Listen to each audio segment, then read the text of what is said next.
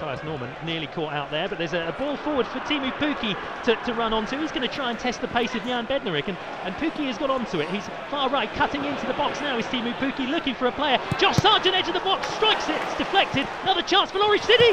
Oh, it's just wide.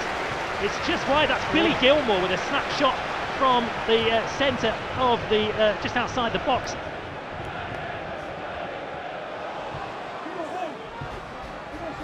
Milot Rashica didn't quite clear that. It's going to be whipped in towards the far post. Aarons is underneath it. Good save by Angus Gunn.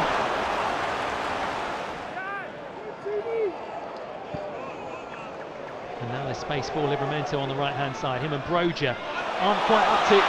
but then they get past Norwich City and then is it going to be bundled in at the far post? Somehow it goes in and Norwich City haven't been able to ride their luck any longer. They find themselves behind and it's Che Adams who's got the goal.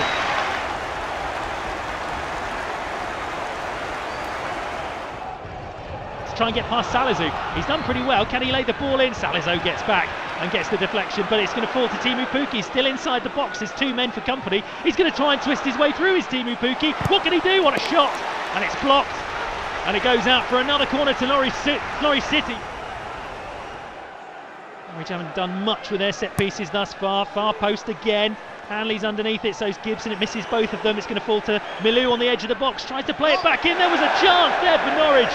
Oh, there was a ball in there to Grant Hanley to just skim one on. And he didn't get much on it.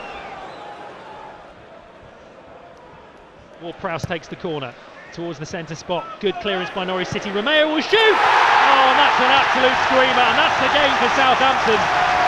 As good as Angus Gunn has been the entire game at stopping Southampton, get any more. He was never going to stop that one.